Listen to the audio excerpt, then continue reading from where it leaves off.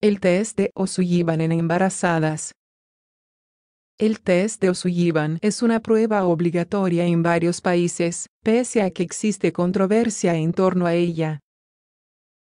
Su objetivo es descartar que haya diabetes gestacional o precisar si hay riesgos de que ésta se presente.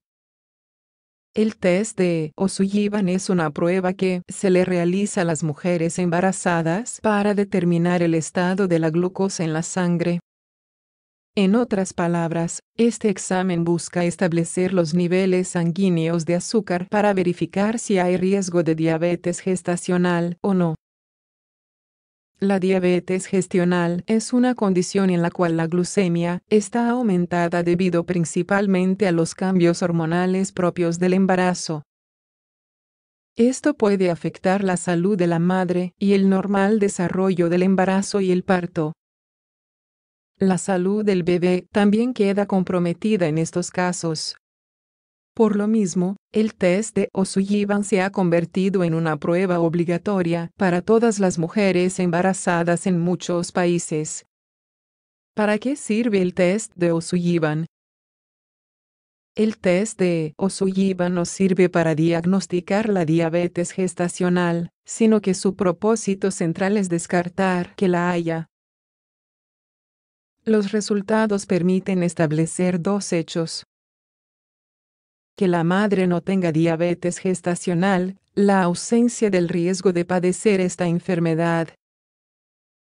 Algunos la consideran la mejor prueba en términos de coste, beneficio y eficacia para descartar la diabetes gestacional.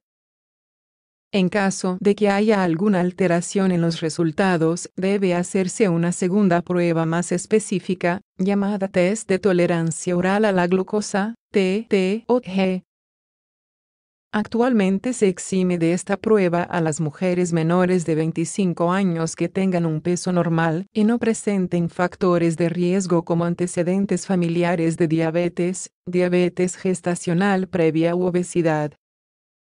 El test de O'Sullivan no está exento de falsos positivos. El procedimiento, para hacer el test de O'Sullivan no es necesario que la madre vaya en ayunas. Lo primero que se hace es tomar una muestra de sangre para cuantificar los niveles de glucosa en la misma. Luego, la gestante debe tomar una bebida muy dulce que contiene 50 gramos de glucosa al 25% en 200 centímetros cúbicos. La mujer debe permanecer sentada durante una hora posterior a la carga de azúcar sin comer ni beber absolutamente nada. Transcurrido ese tiempo, se hace una nueva extracción de sangre para cuantificar nuevamente los niveles de glucosa en la misma, y esto indica si la insulina ha realizado correctamente su trabajo o no.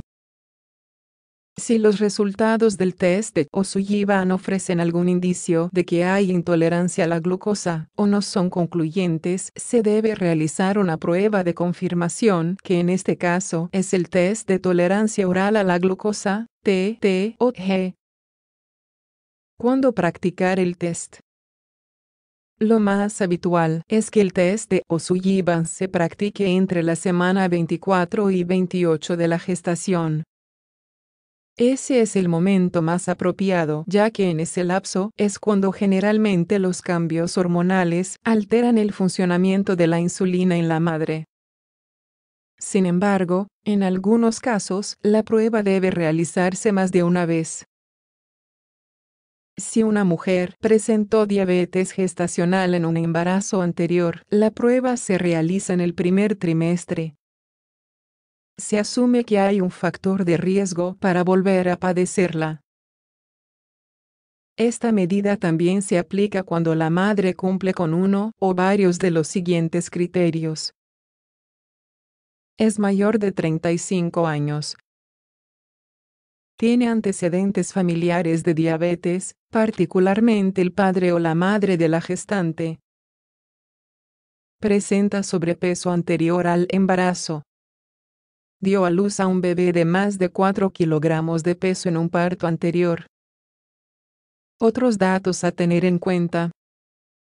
Hay una gran controversia en torno al test de O'Sullivan, al punto en que en muchos países solo se realiza esta prueba si está presente algún factor de riesgo.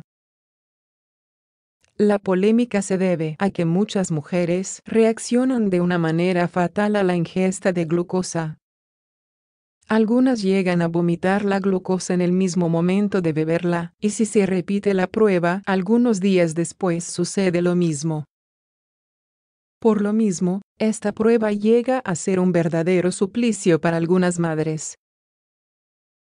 Esto ha llevado a que algunas veces se considere la opción de aplicar la prueba solamente en los casos de riesgo. En los países en donde la prueba no es obligatoria, se sigue un protocolo en el cual la madre es informada de los riesgos del test y puede optar por practicárselo o no.